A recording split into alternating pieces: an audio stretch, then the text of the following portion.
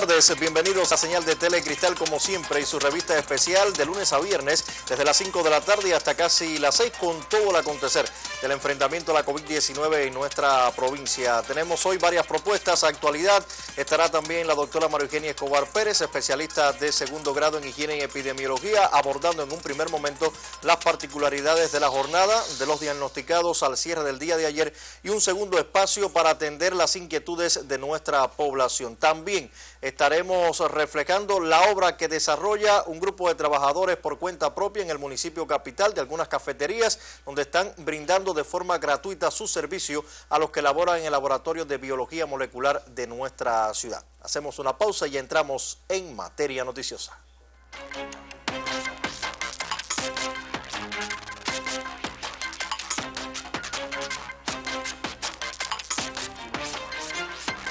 Iniciamos con los datos que nos brinda la página oficial de la Dirección Provincial de Salud Pública en Holguín y todo lo referido a la COVID-19. Bueno, aquí está, el Laboratorio de Biología Molecular de nuestra ciudad analizó una buena cifra de muestras de PCR para detectar el virus del SARS-CoV-2, un total de 55 como vemos en pantalla, con el reporte de 595 nuevos casos positivos a la COVID-19. De estos 595, 593 autóctonos y dos pacientes importados. El acumulado sigue aumentando peligrosamente 18.370 que se han contagiado con la COVID-19 desde el inicio de la enfermedad. Reitero, 18.375. Aquí está la distribución capital, el, epicentro de la pandemia en nuestra provincia. Un total de 413 diagnosticados.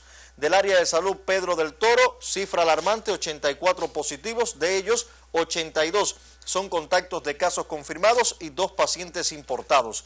Área de salud Manuel Díaz Legrá, 80 pacientes que son contactos de confirmados. Área de salud Julio Grave de Peralta, 49 diagnosticados, todos contactos de casos confirmados. Área de Salud Máximo Gómez Báez, 49 pacientes con la enfermedad también son contactos de casos confirmados. Y Área de Salud Alcide Espino, 36 pacientes, todos son contactos de casos confirmados. Continuamos. Del Área de Salud Pedro Díaz Cuello, al cierre del día de ayer se reportan 28 pacientes con la enfermedad. De ellos, 23 son contactos de casos confirmados y en 5 se desconoce la fuente de infección. Área de salud René Ávila Reyes, 28 casos que se salud a Surquiola, 20 confirmados.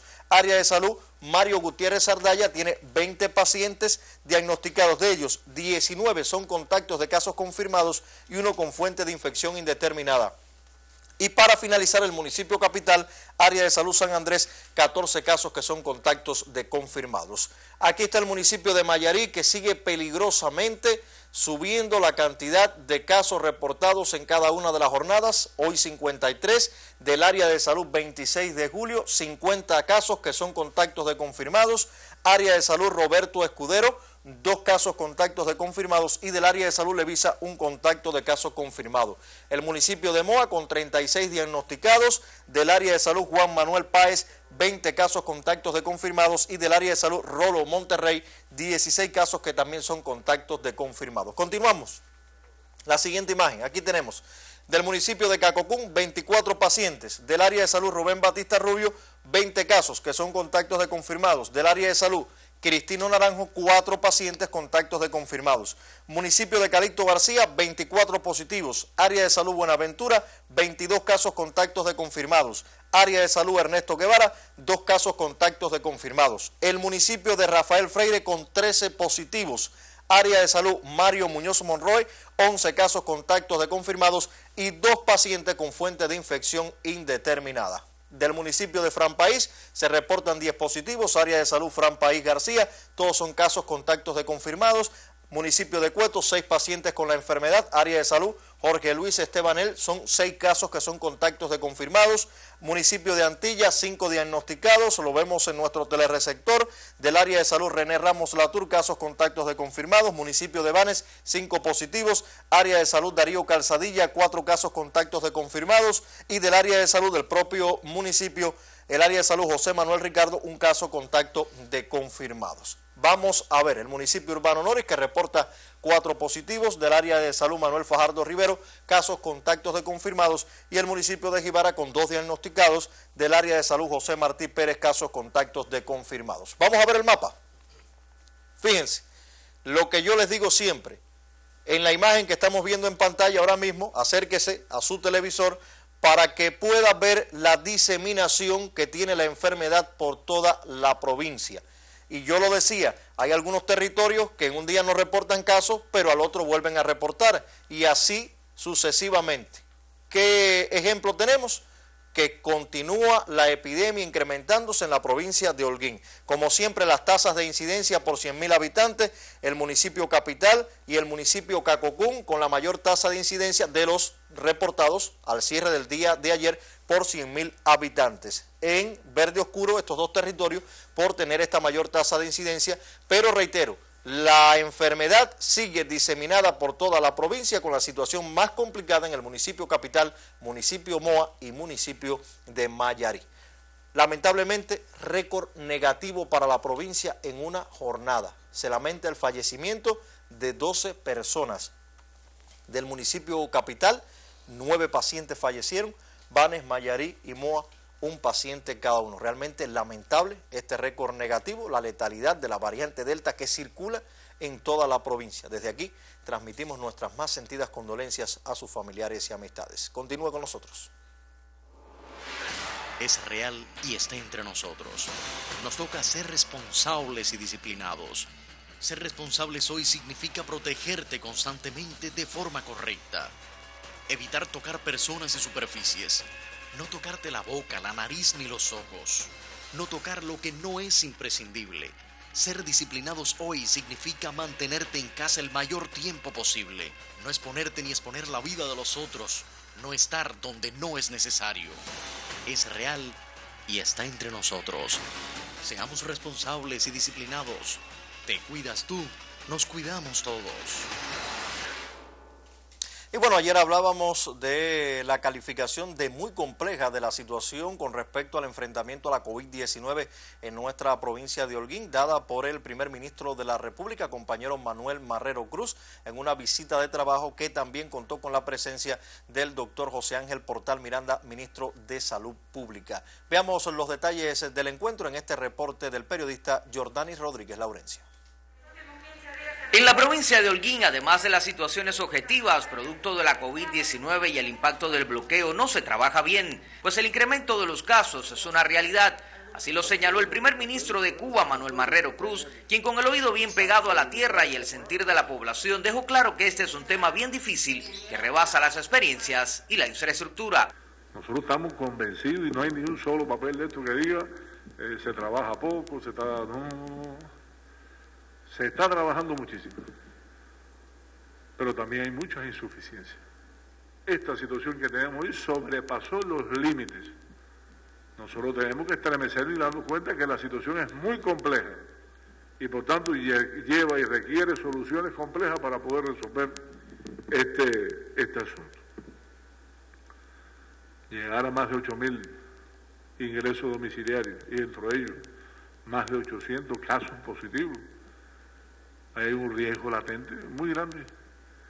Pero si nosotros tenemos pleno dominio de que esas personas están siendo visitadas diarias, que se le está tomando la temperatura y la presión diaria, como es un ingreso, como es una visita médica, el medicamento que requiera, entonces la situación se nos va de, de las manos. No obstante, no se pierde un minuto aquí. Lo que más preocupa es el sistema de atención primaria. La mayor incidencia del virus se reporta en los municipios de Holguín, Moa, Mayarí y Cueto. Se suma el incremento de la letalidad, que en el mes de julio fue de 0.87. Es decir, los fallecidos contra los casos confirmados en Holguín está por encima de la letalidad del país.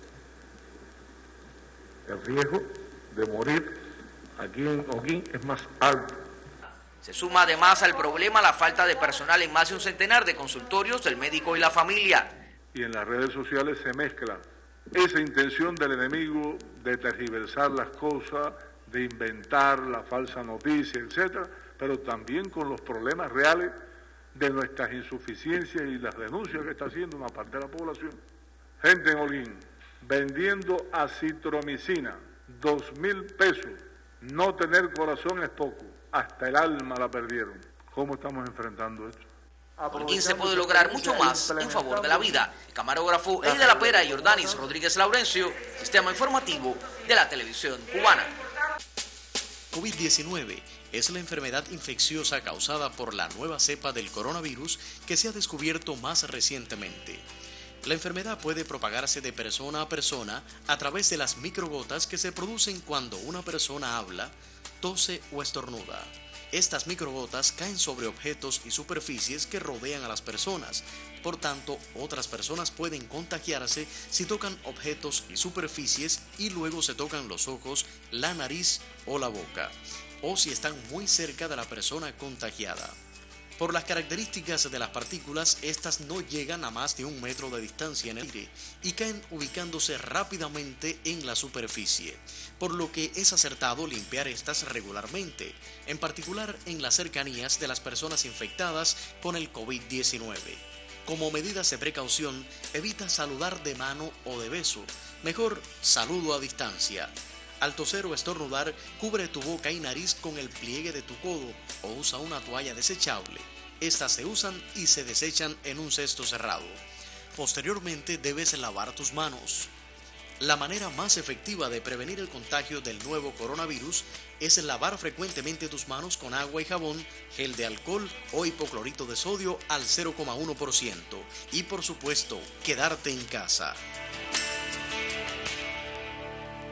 Bueno, vamos al primer momento que usted agradece y nosotros siempre con muchísimo placer la traemos acá a nuestro espacio, la doctora María Eugenia Escobar Pérez, especialista de segundo grado en higiene y epidemiología, además profesora consultante de la Universidad de Ciencias Médicas. Doctora, buenas tardes. Buenas tardes. Qué bueno contar con, con su presencia. Ya estuvo en Mitos de la Salud conversando sobre la vacunación, pero aquí vamos a hablar puramente de la situación de la COVID-19. Entre más eh, nosotros adquiramos esa cultura de cómo enfrentar, de los mecanismos que debemos de llevar adelante para frenar la propagación de la epidemia, creo que, todo es bueno y es bienvenido para los amigos televidentes. No, siempre yo pienso que una persona informada pues puede tomar medidas para disminuir, porque es importante el accionar de las personas en el control de cualquier enfermedad, no solamente de esta, de cualquier enfermedad, es importantísimo el cuidado. El cuidado, lo que pasa es que nuestro sistema siempre, eh, yo pienso que fue tan bueno que, que obligaba a las personas a hacer lo que tenían que hacer para que, cuidar la propia salud de esas personas.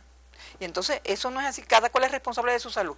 Y tiene un valor tremendo hacer las cosas, por lo que hoy no nos queda de otra, a pesar de que tenemos el incremento de los casos que se están vacunando, hay que seguir, la responsabilidad de, de, las personas es fundamental para el control de esta etapa que nos queda, para llegar a una etapa mucho mejor que esperamos que para fin de año la cosa esté mucho mejor. 595 casos se diagnosticaron al cierre del día de ayer, otra cifra considerable para nuestra provincia, pero usted siempre comienza con el país. Sí, a mí me gusta empezar con el país. El país bajó un poquito, ¿eh? 8.379 casos y 93 fallecidos, que eso sí, eh, pero de esos 93 eh, fallecidos, 12 pusimos nosotros. Tenemos ya 36. Si tú lo divides, eh, te da 9 casos por día, 9 fallecidos por día de esta enfermedad, es una, una, una, una, una o sea, algo que no debía haber pasado. Algo en la que, provincia. En la provincia, en la provincia, eso es en la provincia, ya te, te lo llevé a la provincia siempre me gusta el país para, para comparar con lo que hay. El país bajó un poquito, nosotros subimos un poquito, pero nosotros podíamos tener más porque con la cantidad de sospechosos que tenemos, nosotros tenemos el riesgo de tener muchos más. Los pediátricos, los mayores de 60 años, 101, y los pediátricos, 91. De esos pediátricos, 16 son menores de un año y 6 son menores de 3 meses.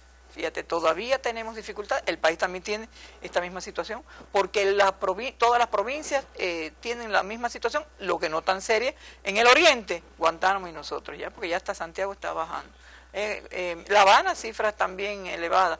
Matanza está disminuyendo también, pero todas las provincias tienen situación difícil porque es la variante que circula en este país lo que está circulando en el mundo entero, que ha tomado fuerza y que está que, se va a convertir en la cepa, en la, en, la variante dominante en todo el territorio. Mayarí preocupante, hoy incrementó la cifra de casos, incluso superó al municipio de Moa. Sí, mira, Mayarí, Holguín con 413 casos y Mayarí con 53, eso equivale al, al 78% de todos los casos de la provincia. ¿Y si le suma Moa? Y se le sube a Moa, te sube un poquitico más. Pero no le saqué con Moa, le saqué nada más con Holguín y, Mayarí porque eran los que tenían mayor, mayor cifra, pero te va a subir más entonces. El epicentro de la pandemia está en estos tres en territorios. Esos tres territorios. Lo que pasa es que cuando tú coges los últimos, a mí me gusta también hablar en el día de los últimos 15 días. En los últimos 15 días, las tasas. Usted sabe que la tasa te sirve para que equilibrar ¿Sabes quién tiene la mayor tasa? MOA. MOA tiene una tasa de, 100, de 1.412 por cada 100.000 habitantes con 1.033 casos en 15 días. Es decir, mayor positividad. Tiene una, un mayor riesgo de enfermar en MOA que en Holguín. Lo que Holguín tiene mayor número de casos, tiene una diseminación tremenda en todos los territorios, tiene casos en todas las áreas de salud. incluso San Andrés, que San Andrés era el que reportaba un poquito menos, pues tuvo 14 casos extradomiciliarios todos en, ese territorio que supuestamente está más alejado, pero que ha habido, se ha visto que ha tenido algún cierto tipo de actividad. Hoy lo que nos queda es tratar de arrinconar el virus y no confiar solamente en la vacuna. La vacuna va avanzando, sigue avanzando, pero eso no es suficiente para el control de la enfermedad con esta variante que circula, que, se que penetra más fácil a la célula, que tiene, que, elimina más una carga viral mayor, que elimina más virus, que tiene, eh, es más zorro, yo diría, es más zorro, porque está eliminando mucho más tiempo que los que, que, las otras variantes que existieron, que incluso el, que el virus original, el que vino de Wuhan, el que vino de China. Yo creo que, es necesario continuar trabajando, doctora, eh, en un tema bien interesante, y esto quizás eh, busque una mayor capacitación del personal de salud pública, que, es realmente increíble lo que ha realizado en esta etapa de enfrentamiento a la COVID. Hablo de, discernir un poco quién es aquel enfermo de bajo riesgo y quién es aquel enfermo de alto riesgo. Porque en ocasiones surgen las dudas y usted dice, bueno, yo soy de alto riesgo, pero ¿cómo usted sabe que es de alto riesgo? ¿Cuáles son los síntomas? Nosotros hemos explicado aquí, pero esa, esa es una pregunta que es necesaria volver a explicar. Sí, mira, de alto riesgo, ¿qué personas tienen alto riesgo? Si yo tengo ya 65 años o más, ya yo soy de alto riesgo, aunque no padezca de nada. Pero si tengo, además de eso, algunas enfermedades como la diabetes, la hipertensión, las cardiopatías, que son la insuficiencia renal, que son enfermedades que se han visto relacionadas con la obesidad. Con si yo tengo ese tipo de enfermedad, ya yo clasifico como alto riesgo, aunque tenga menos de 65 años. Ah, yo tengo también riesgo cuando, dependiendo de la sintomatología. Acuérdate que hay síntomas más ligeros que, y otros síntomas también. El médico lo sabe, el médico tiene preparación, el médico cubano está bien preparado y tiene información. Y, yo siempre digo, caballero, yo quisiera haber sido haberme hecho médico cuando, cuando yo encuentro tanta información excelente en, en, las redes, donde quiera. Eh, nosotros tenemos que buscar libros, las revistas, lo que hubiera en aquella época, eh, hace muchos años, no voy a decir cuándo. No, no lo digo. No, no, lo digo. Pero bueno, la, la lo que hay que poner, eh, revisar, porque si el médico no examina al paciente, no lo evalúa correctamente, no te das cuenta, porque además esta enfermedad tiene una evolución también, cuando usted cree ya PCR negativo, se va de alta porque no se siente nada y después de la complicación viene el tromboembolismo. De esto vamos a hablar, eh, porque hay una pregunta de los amigos televidentes sobre este tema, así que no vamos a ampliarla ahora, le propongo hacerlo en el segundo momento. Algo que se nos quede de la jornada en particular, que, bueno, yo veía algo de, de, los datos que estaba brindando hace solamente unos momentos y yo estoy seguro que los amigos televidentes que siguen todos los días nuestra revista se han dado cuenta que hoy hubo un incremento de los casos con fuente de infección indeterminada que no habíamos tenido antes. Hoy tuvimos unos cuantos casos sobre todo en, el municipio de Calixto García. Sí, Calixto García. mire, Calixto García es un municipio que tuvo 24 casos junto con Cacocún. Cacocún y Calixto García son dos territorios que han estado punteando toda esta, toda esta semana con casos pero Buenaventura como tal, el, el, casco eh, urbano, y tiene casos sin fuente. El caso sin fuente, eh, eh, yo pienso algunas veces que no han encuestado correctamente, que hay que seguir rastreando esos casos, que hay que reencuestar a la familia para buscar de dónde es, porque ese sin fuente es un individuo que, que no sabe quién lo infectó y se ve que hay incremento. Y también Cacocún, Cacocún ha tenido eventos, ha tenido circulación del virus fuerte, saben trabajar lo que tienen y saben lo que tienen que hacer, sin embargo, no rastrean. Cuando yo veo que el municipio no llega a controlar es porque se le escapan contactos que no encontraron.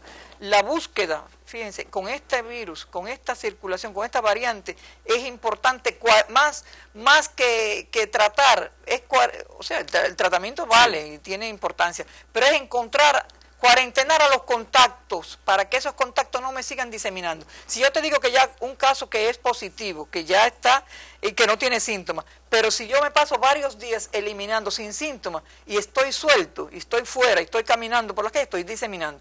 Lo importante es todos esos contactos tenerlos.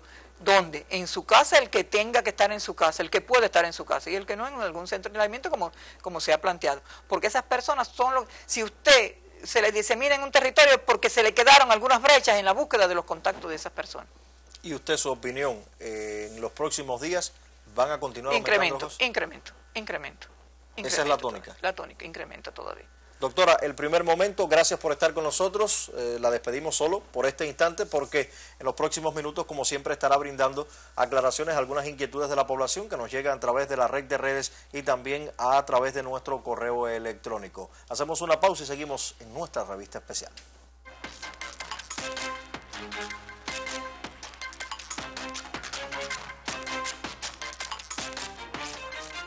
Condiciones de verano para mañana en la provincia. Chubascos ocasionales en la zona costera durante la madrugada, mañana de sol y pocas nubes. Desde el final de la misma se incrementará la nubosidad a parcialmente nublado y nublado en zonas del interior y montañosas, con algunos chubascos, lluvias y tormentas eléctricas hasta el anochecer. Las temperaturas mínimas en la madrugada estarán cercanas a los 17 grados Celsius en las montañas y entre 22 y 25 grados Celsius para el resto del área. La tarde muy calurosa con valores máximos de temperaturas entre 31 y 34 grados Celsius. Los vientos variables débiles en el interior y las montañas, en la costa soplarán del este hasta 25 kilómetros por hora. Habrá oleaje en todo el litoral, con peligro para las embarcaciones pequeñas.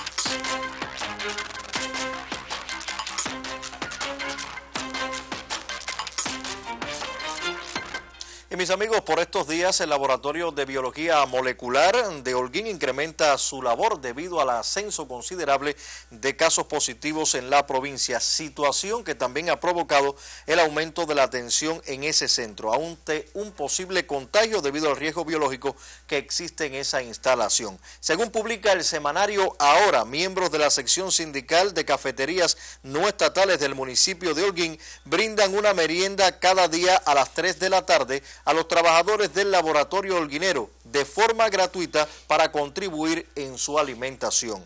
Los trabajadores no estatales de esta sección sindical han desarrollado varias actividades de bienestar social, como las desarrolladas en el hogar de ancianos número 2 Jesús Menéndez, donde realizaron donaciones para enfrentar la COVID-19 en este centro, como cloro, lejía, nasobuco, entre otros. Y en la noche y madrugada de hoy tendremos posibilidades de medalla de oro con el crucero Julio César La Cruz de la escuadra cubana de boxeo en los Juegos Olímpicos de Tokio. De la carrera y preservarla para la final individual de los 400 metros, un evento al que avanzó cuando en la noche del pasado miércoles bajó de los 50 segundos, marcó exactamente 49 segundos con 71 centésimas por primera vez en su vida y Roxana se quedó a solamente 10 segundos en esa ocasión del récord nacional de Ana Fidelia Quirot implantado en agosto en los Juegos Panamericanos de La Habana, exactamente en 1991. Este conjunto lo integran además Surian Echavarría, Rosemary Almanza y Liz David Beitía. De las cuatro presentadas ahora, Beitía consiguió el mejor parcial individual con 50-13 segundos, superando al de todas las que tuvieron la responsabilidad de cerrar sus respectivas estafetas.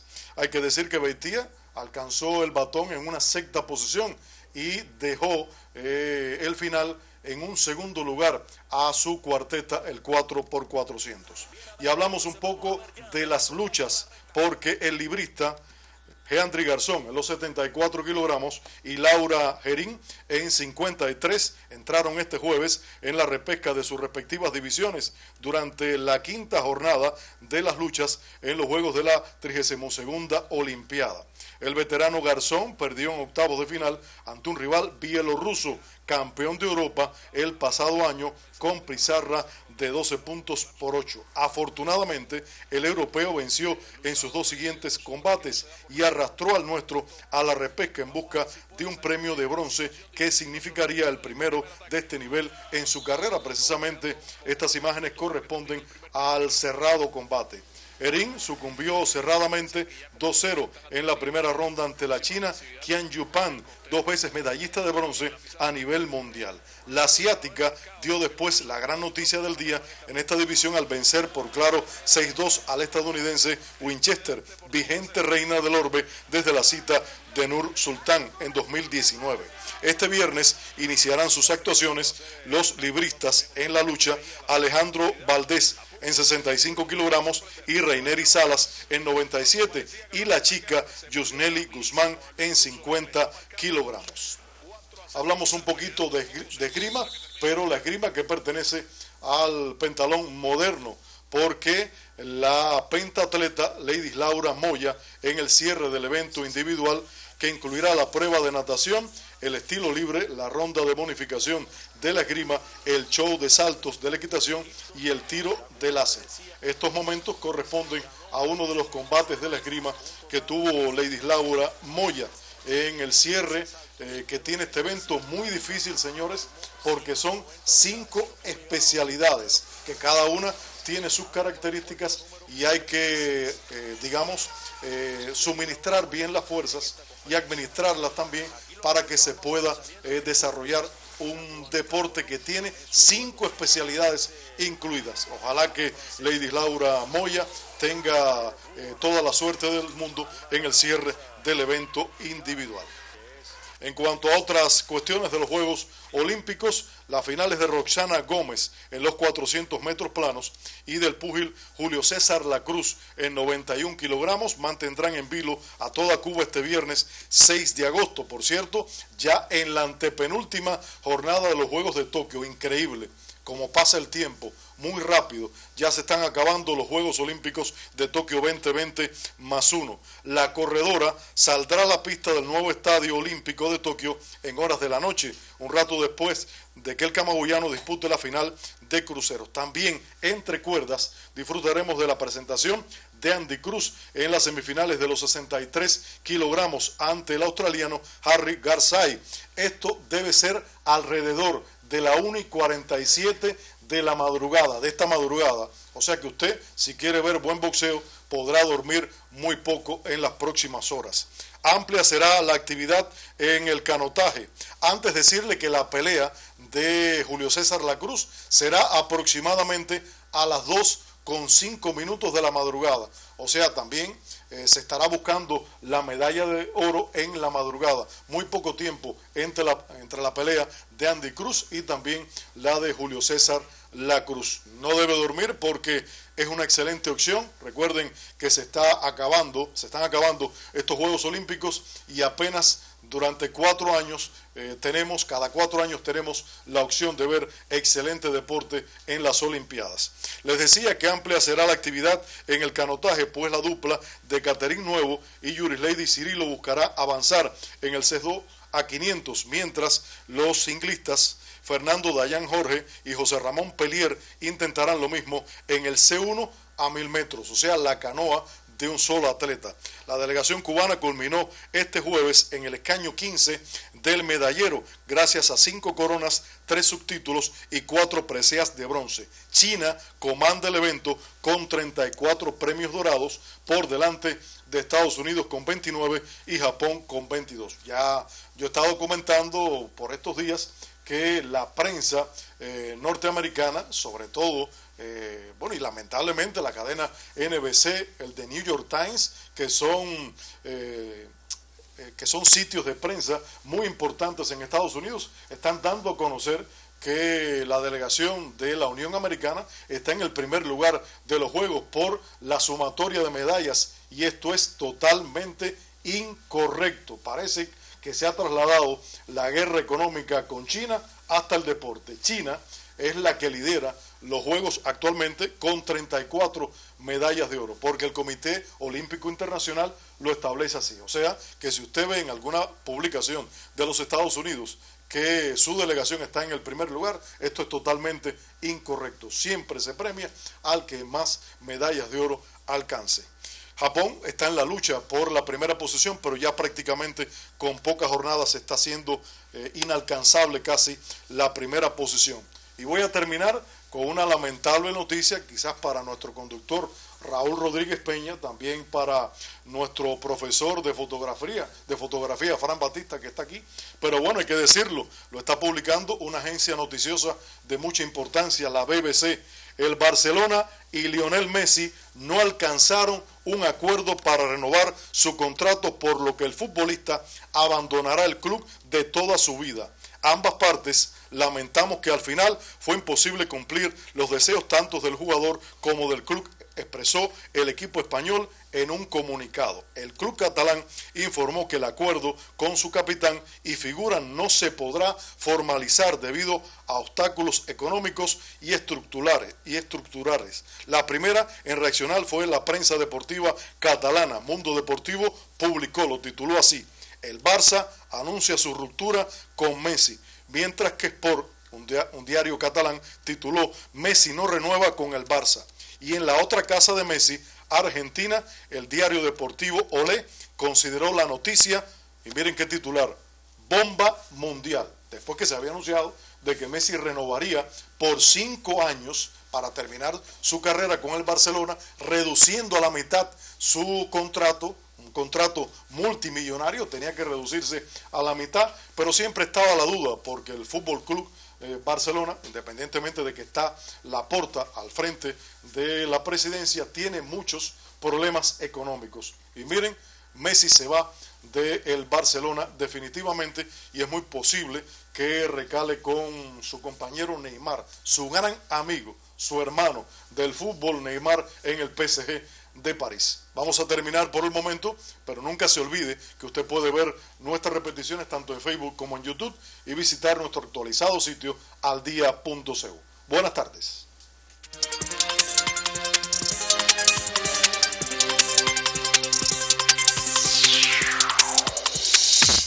Y les, comento que la provincia de Holguín evocó en varios escenarios de la ciudad capital el aniversario 27 de los hechos de aquel 5 de agosto de 1994, cuando Fidel demostró al mundo la fortaleza de la revolución cubana ante los que pretendían desestabilizar nuestra nación.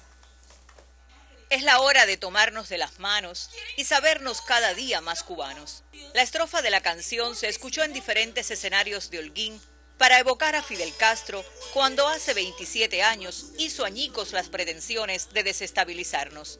En actos de reafirmación revolucionaria, presididos por el miembro del Comité Central y primer secretario del Partido Comunista de Cuba en Holguín, Ernesto Santiesteban Velázquez, el hecho trasciende devenido pasión por esta isla. Las voces traen la victoria popular en tiempos de enfrentar y vencer la COVID-19, defender la soberanía y exigir el cese del bloqueo. Es el hombre que, camina para defender las conquistas de un pueblo, para defender la dignidad de un pueblo, pero sobre todo para recordarnos que el imperialismo está ahí. Eh, es el Fidel que, que, siempre escuchó en un diálogo profundo al Che Guevara y decía, al imperialismo no se le puede dar un tantito así, pues es el Fidel que nos llamaba a la perfección.